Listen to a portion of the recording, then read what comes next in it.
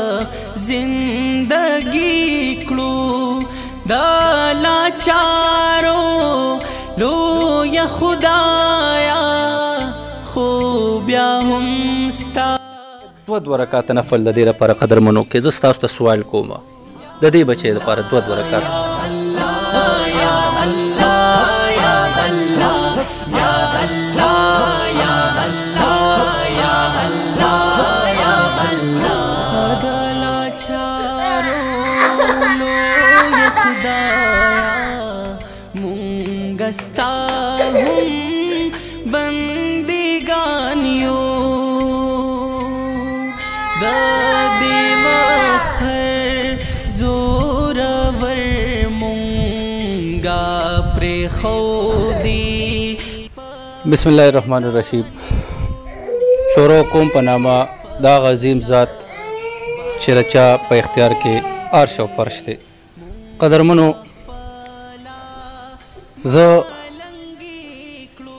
دا سوچ کوم چې زه پروګرام ابتدا څنګه وکم ځکه په داسې د یو درد پروګرام دی د جړا پروګرام دی د فریاد پروګرام دی قدرمنو مردان علاقه ده دغه بچه تاسو په ځمکه یې نه د هغې فریاد هم تاسو یې نه دلته به زه یو څو خبرې کوم د دغه رور دپاره قدرمنو کم چې د دغې بچې رقیه دغه ګلاله ماشومه رقیه د دوو کالو داسې په یو داسې مرض کې اخته ده چې د هغې خبره به زه تاسو سره کوم قدرمنو حضور مبارک صلی الله علیه و آله وسلم فرمایي چې کم ښه انساني کم ښه خلکي د هغوی مثال داسې دی، په هغوی به مصیبتونه داسې راځي، تکلیفونه به داسې راځي، لکه څنګه چې بره د غر نه لاندې اوبه را روانې وي، داسې به هغه ښه سړي ته، هغه ښه انسان ته دا تکلیفونه، مصیبتونه مخې ته راځي. زه دغې ورور ته وایم چې په دې کور کې د دې بچي دا حال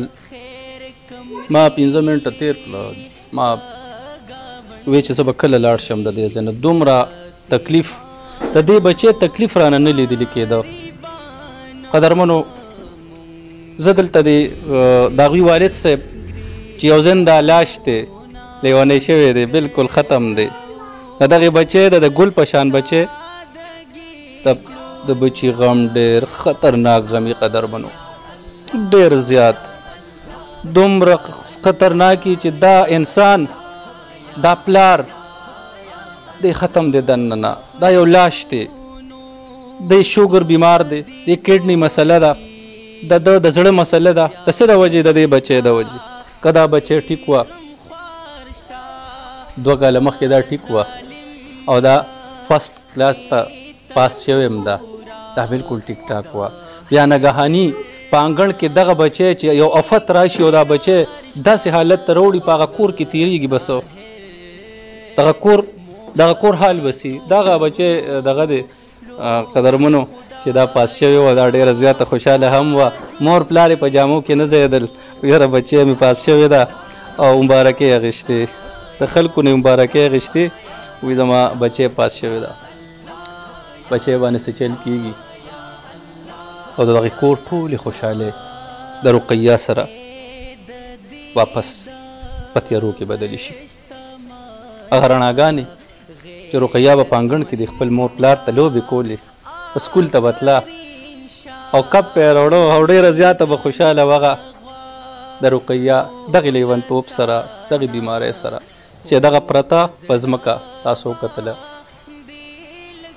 هغه دې سره لاړلې هغه رڼاګانې په تیارو کې بدلې شوې دغه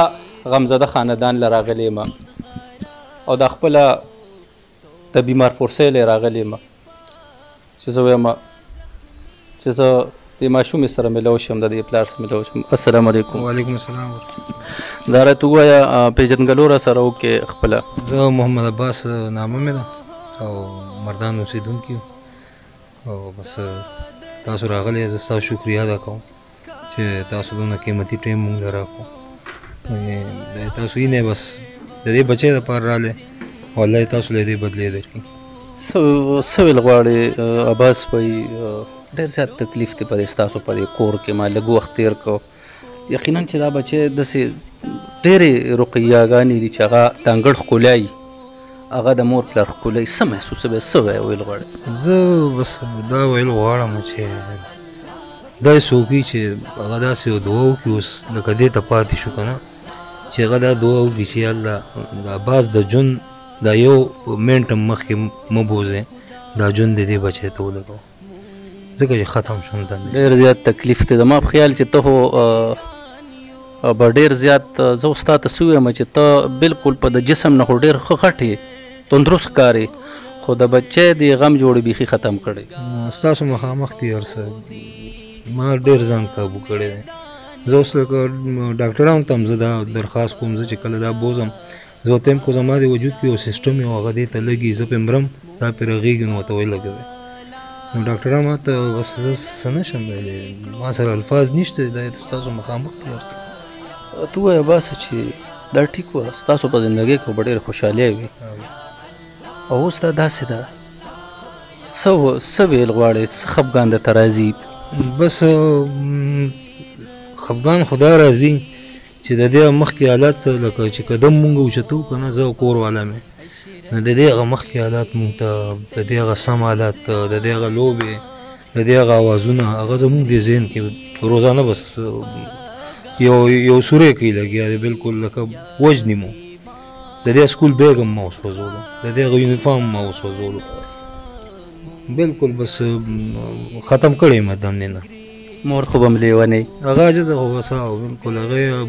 هغه ما مور خو مور یې کنه مور خو پلار لیونی. پلار پلار خو دونه دغه نه یې، پلار خو سخت طبیعت یې، خو مور عاجزه چې ده هغه کمه ختمه ده. څه ویل غواړې خلکو ته؟ زه بس دا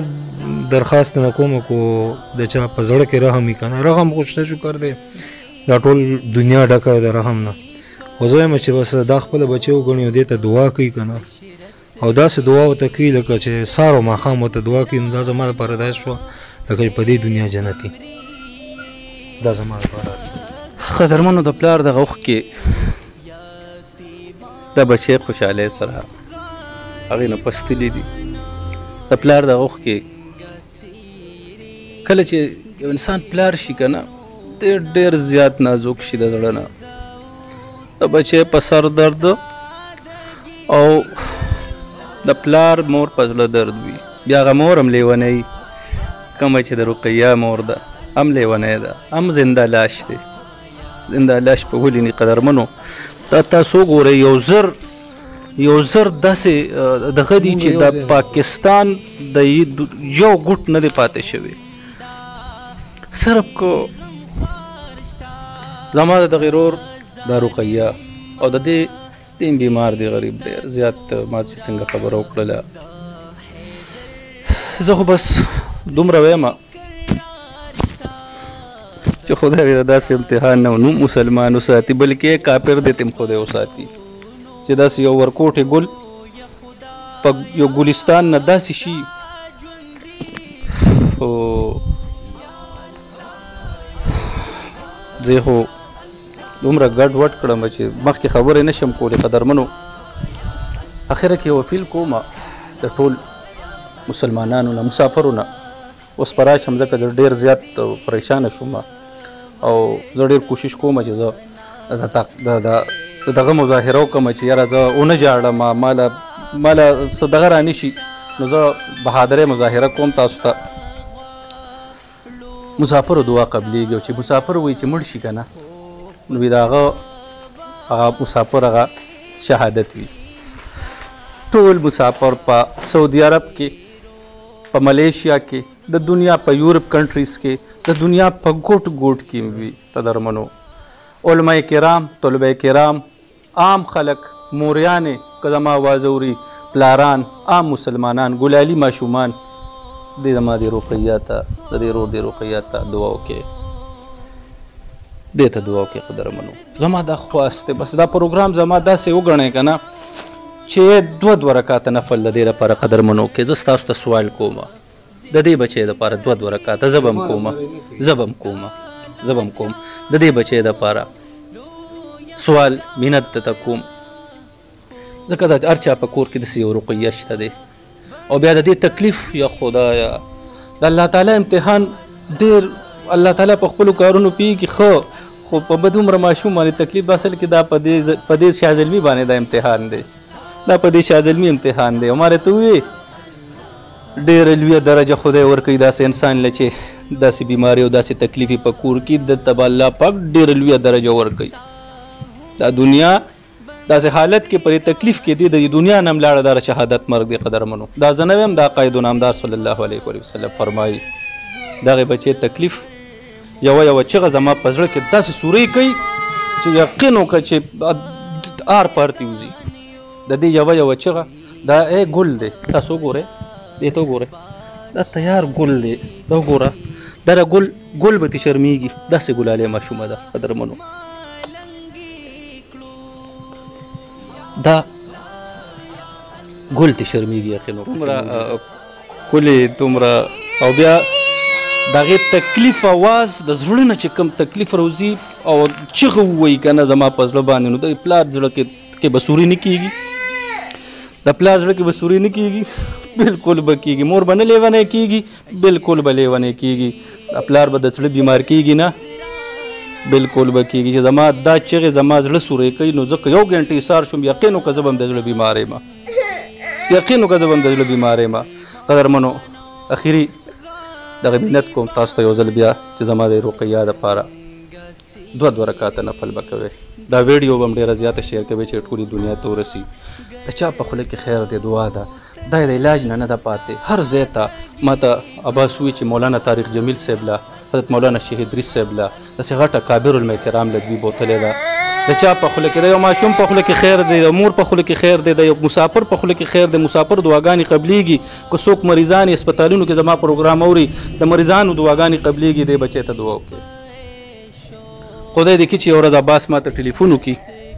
چې راشه ذاکر صاحب ذاکر رحمان صاحب راشه زما بچی ټیک شوی دی راځه یو پروګرام بل وکړه د خوشحالۍ پروګرام وکړه بس نور الفاظ ملګرتیا را سره نه کوي د پلار دغه اوښکې د بچی دغه د زړه نه دا څرکې د پلار د زړه آر پار ځي او زما د زړه آر پار هم ځي په دغه دعا سره مسافرو ته پښتانه او مسلمانان څومره هم چې دي چرته چې هم یې آباد آباد اوسئ زما دغه ګلاله بچی رقیه په خپل دعاګانو کې خامخا یاد ساتئ د دې دغه تکلیف